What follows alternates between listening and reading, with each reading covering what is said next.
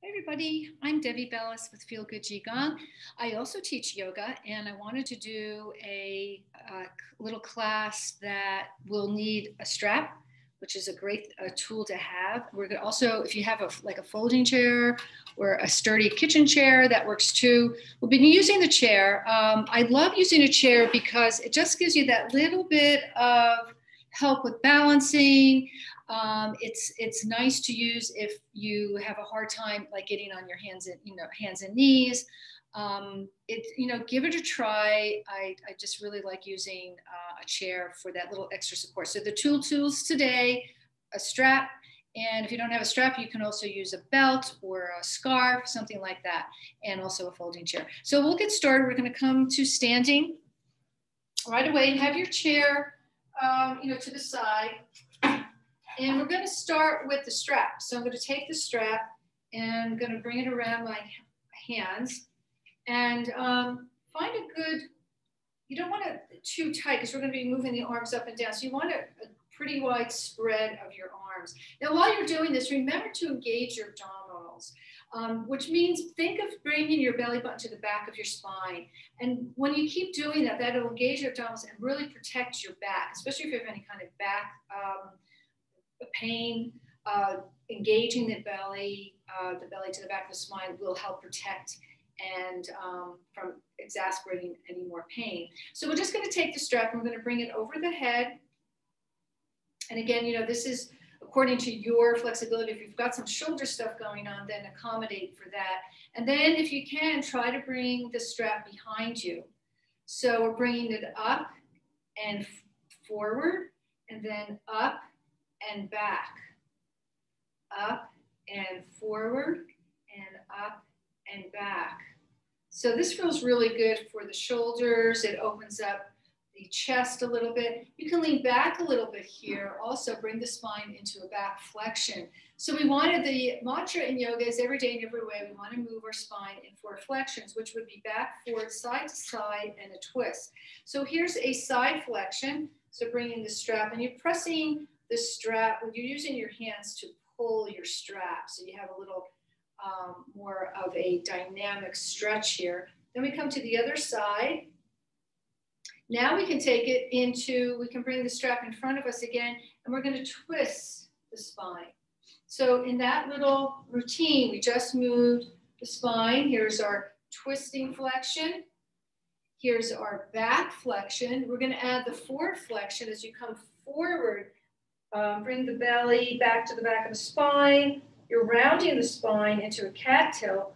And then you come up and you're going to go over to one side for your side flexion and then a side flexion. Bring the strap in front of you and we do our twisting flexion. So again, in this little bit of movement, using the strap, you're bringing your spine back as you inhale, exhale, rounding forward, forward flexion, Inhale, exhale over to one side for your side flexion. Inhale and exhale over to the other side for your side flexion. And then inhale and exhale to your twisting flexion. Inhale and exhale to your flip, uh, uh, twisting flexion. And then again, we're going to inhale, back flexion. Exhale, forward flexion. Inhale, exhale, side flexion. Inhale, exhale, side flexion. Inhale, exhale, twisting flexion. Inhale, exhale, twisting flexion. And I'm going to add a rotation in this also. So spread the legs a little bit wider and you can come all the way around in a rotation. You know, let the head drop, coming all the way around, taking it to the other direction so in this little routine, you've just moved your spine in those four flexions and also in a rotation. Try to do this at least once a day before you start your day and then during the day. It didn't take me very long to do this. So an easy thing that you can incorporate into your day. Now we're gonna come to the chair and I'm going to bring my chair right on my mat so it doesn't slip. I'm bringing my hands on the top of the chair and my feet are about hip width apart and I'm gonna go right into a dog tilt. So here's my dog tilt. I exhale as I round my spine into my cat tilt. Inhaling dog tilt. Exhale, rounding into the cat tilt. Inhale, dog tilt. Exhale, cat tilt. And then slowly curl up one vertebrae at a time. Now we're going to warm up our body to do a forward flexion. So we just cross the arms over, warming up the body. So when we come into our forward flexion, the body, especially the back, has been warmed up so you won't, again, irritate your spine. Then we start to bring, we bring our hands on our, on our waist. Again, belly to the back of the spine, really engage those abdominals. And then you start to hinge forward. Now what you can do here, this is gonna be different for everyone. Some of you might wanna bring your hands onto your chair as you come forward. You can also rest your head on the chair here too, if you want. You can hang out here, bringing, uh, crossing your arms and just kind of hanging out on your arms or on forehead on the chair. Or you can bring your hands onto the bottom of the legs and come into your forward fold, this way. So there's lots of support here. Opening up that entire back body. Relax your arms, relax your head. And now bring your hands to your thighs, bend the knees. Again, dog tilt.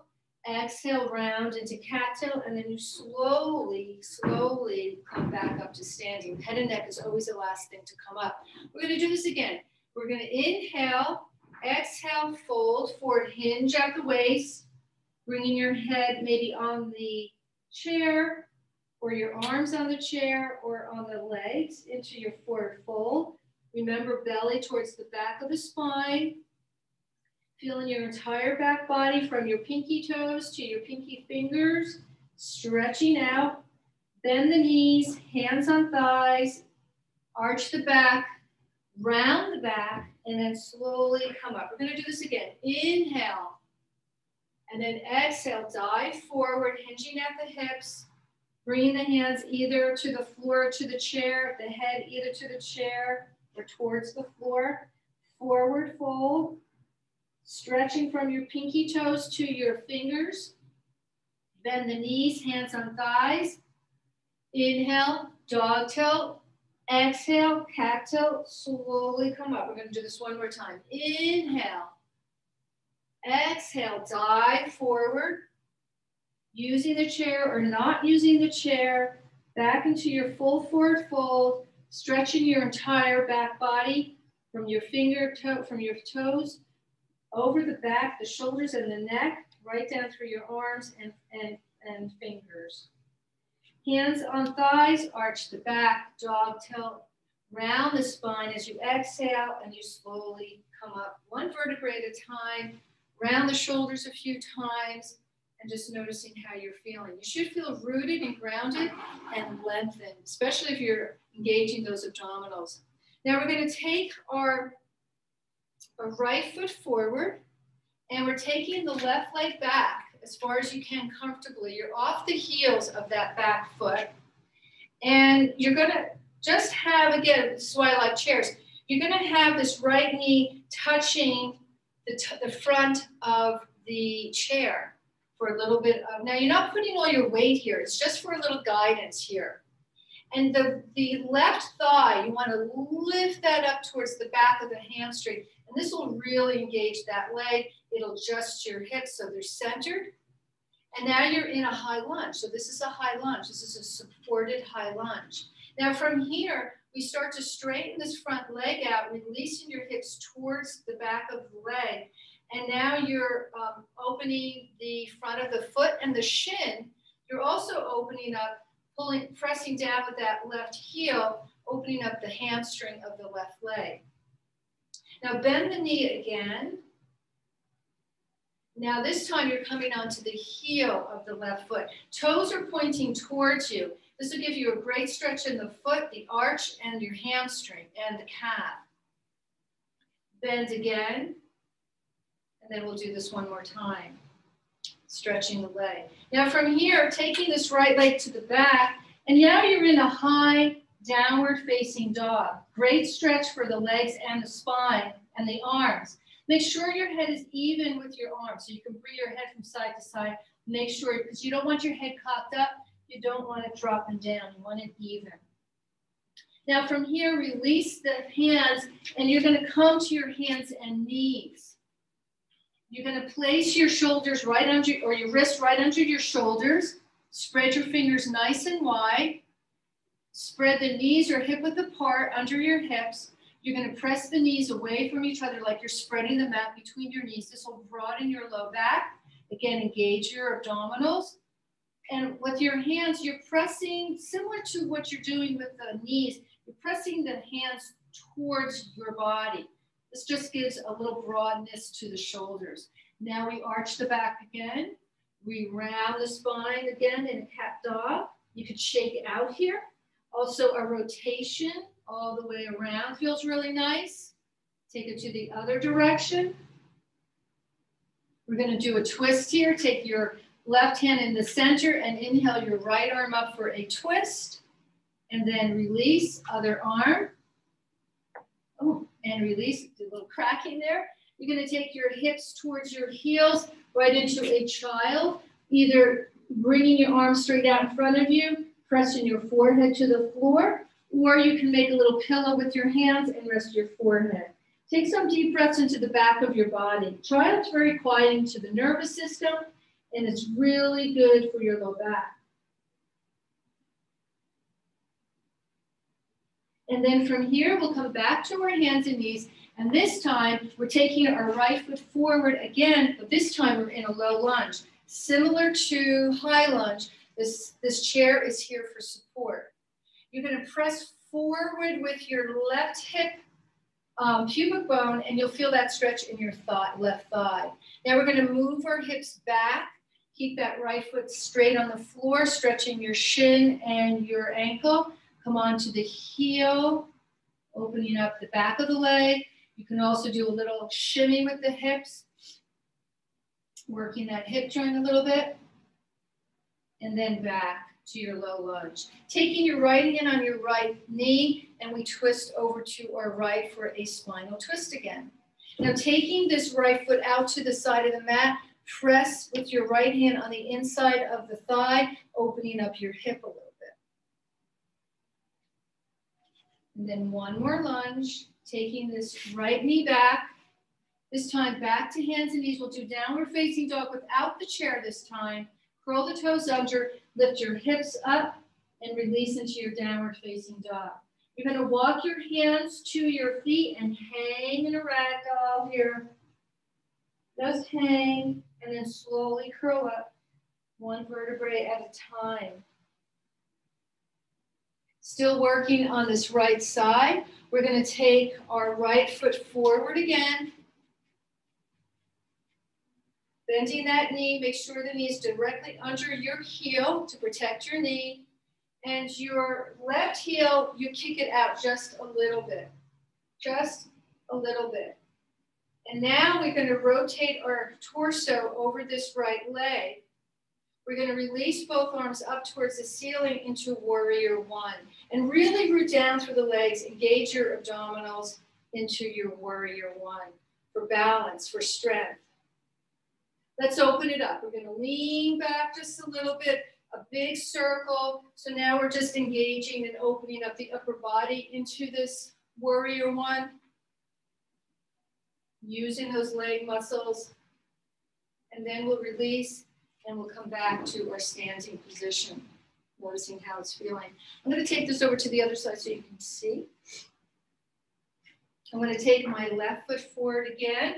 My right leg this time is coming back. I'm lifting my right thigh into towards the back of my hamstring, really engaging that leg. That'll also engage my hips.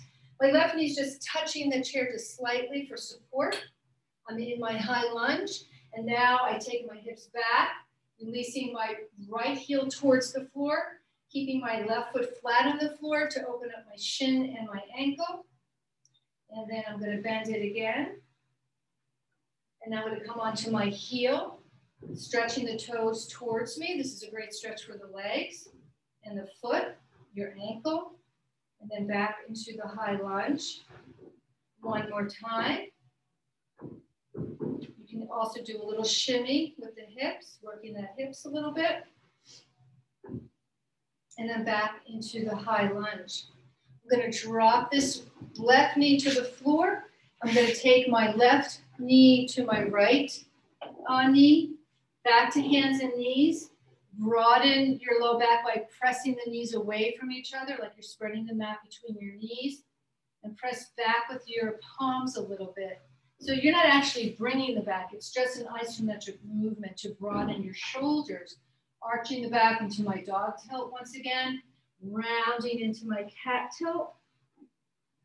Doing some rotation. This feels really good on the spine, on the back. And then we take our hips towards our heels, stretching the arms straight out in front for a child. Either the arms straight out in front or make a little pillow and rest your forehead.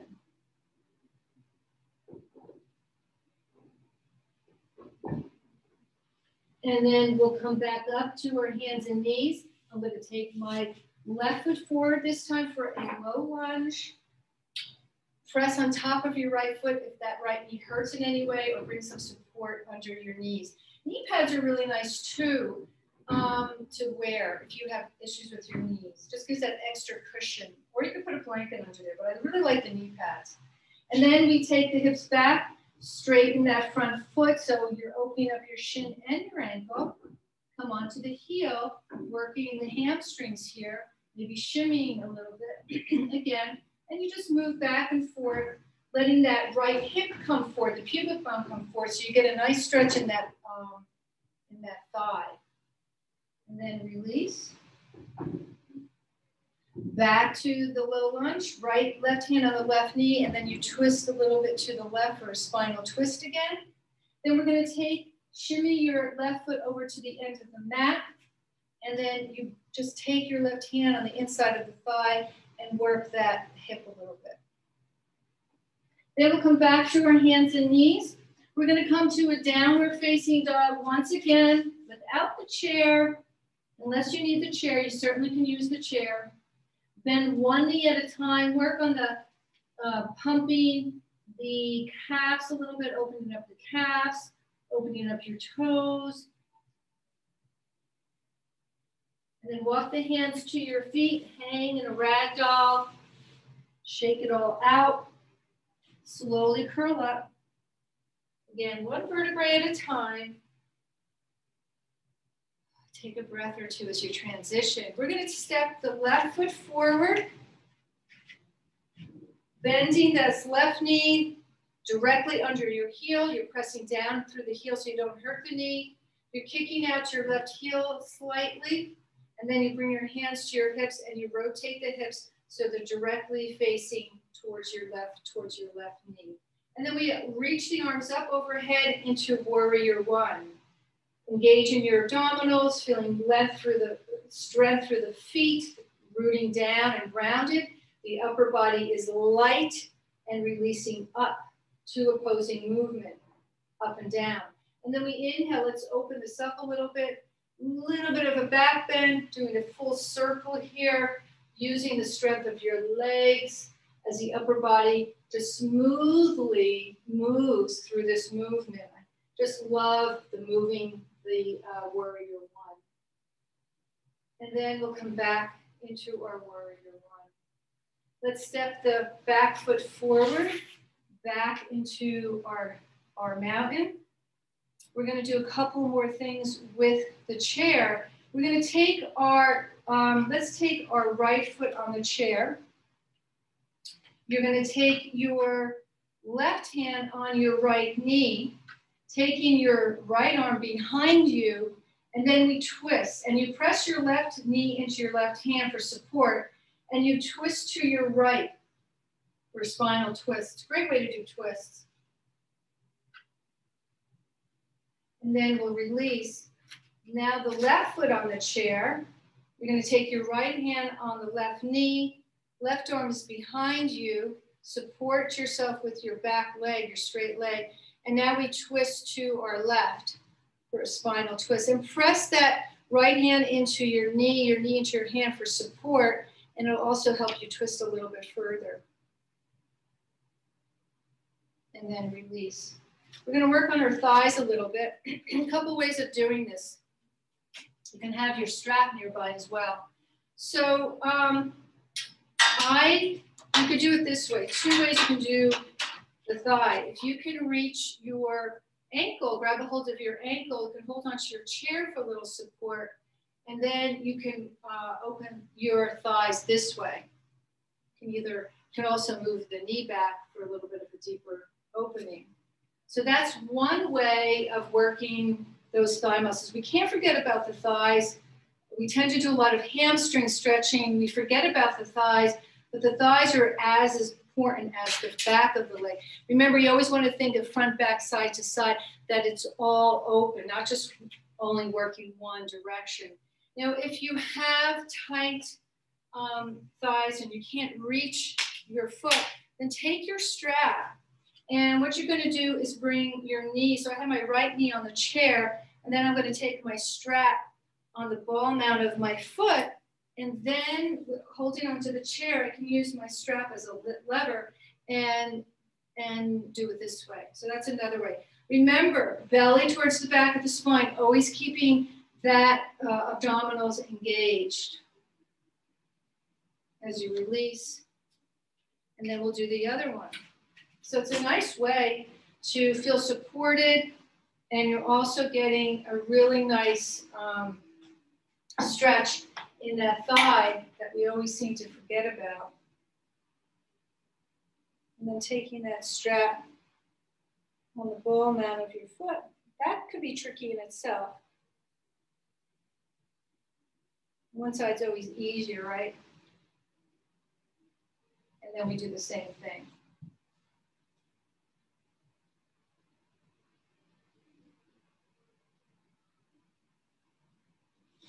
Release. We'll do one more uh, balancing posture. Have the chair on your left side for a little support. Sometimes just holding your finger on the chair makes all the difference in the posture. We're gonna work on our proprioceptors. They're, they're sensory uh, sensors of our body. Uh, when babies are born, they flare a lot, right? Their, their arms are moving, their legs, and they don't know what to do with them. So that's why we swaddle babies because they haven't, they're not used to the, their gravity. They're not used to their world yet. They're just taking in everything. So we swaddle them until they finally start to, we release the swaddle, they finally start to feel touch. Their sensory perceptors are very, very heightened they start to crawl, they start to stand, and then so forth. Then as we start to get older, those sensories, those proprioceptors get dull, and we lose our balance because of that. So we're going to activate our proprioceptors. The proprioceptors are very strong in the palm, so we are going to rub our hands together to activate our proprioceptors, and also the bottom of our feet are very active too for proprioceptors. So just kind of um, stamp your feet a little bit to activate your proprioceptors. And the other sensitive, really sensitive area of proprioceptors are around the mouth. So you can also tap that. I know this sounds silly, but it makes a big difference with balancing. So we're activating our proprioceptors before we start our balancing. Now you might not need the chair, but if you do, you don't you don't hold onto the chair. You're not leaning onto the chair. All it takes is one little finger to help. So we'll start with our mat. We're rooted down, we're lengthening up, and we're slowly going to lift, bring the weight on your uh, left leg, the chair's on the left. We start to come onto our right toes, and we start to lift our left, our right knee up. Again, I'm losing a little bit of balance, so I'm just bringing my little finger, my finger onto the chair, and boy, what a difference. Now you're gonna flex your foot and now take that heel and start to bring it behind you. And then back. And then up. And then release. So now maybe do without the chair. Root down, find your gaze, lifting that knee up.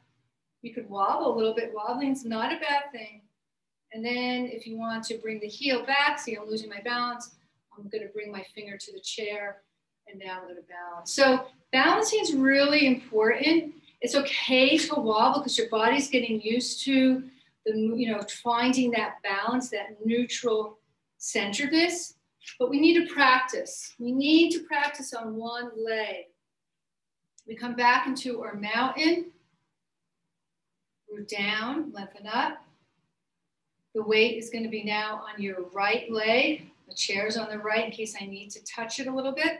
And I'm going to start to come onto my left toes and I start to bring my knee up. So for me, this side's a little bit easier, pressing, lifting my toes up and then bringing my heel back. And that's not unusual to have one side stronger than the other, more balanced. So again, I have my chair here. I could just kind of touch and that makes such a big difference by just touching the, the chair. We'll do this again with or without the chair. Maybe start without it, depending on how you're feeling. Some days are better than others, and that's very natural too. When you're ready, we start to lift the left knee up. Really charge that foot. Bring the heel back. And then bring it forward and release. And there you go. And then let's let's gather all this energy all around us, all the stretching, the balancing we did, and we bring the hands together, rest them at your heart, and letting this little practice bring for you whatever you need today. And thank you so much for joining me at Namaste.